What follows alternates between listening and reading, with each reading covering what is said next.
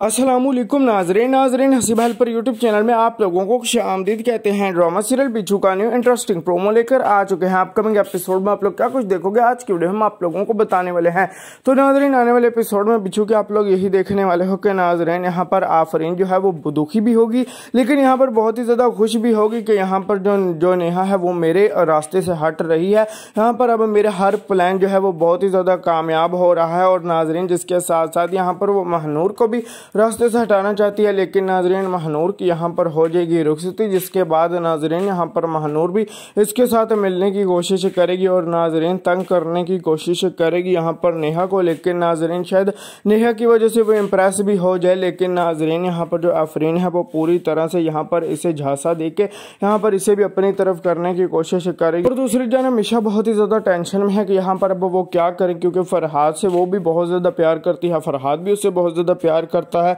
लेकिन उसकी माँ जो है वो उसे पसंद नहीं करती और नाजरीन वो रिश्ते शायद फरहाद के लिए दिखाना शुरू कर दे और इधर नाजरीन जैसे ही पता इनके घर वालों को चले मिशा के तो नाजरीन वो भी इसके लिए रिश्ते ढूंढना शुरू कर दें कि अब इसकी कोई पढ़ाई बढ़ाई नहीं, इसकी शादी करो तो आप लोगों का लगता है ऐसा होगा या नहीं? ये थी हमारी प्रडिक्शन वीडियो ओके फ्रेंड्स आज के वीडियो में सिर्फ़ इतना ही। अल्लाह हाफिज़।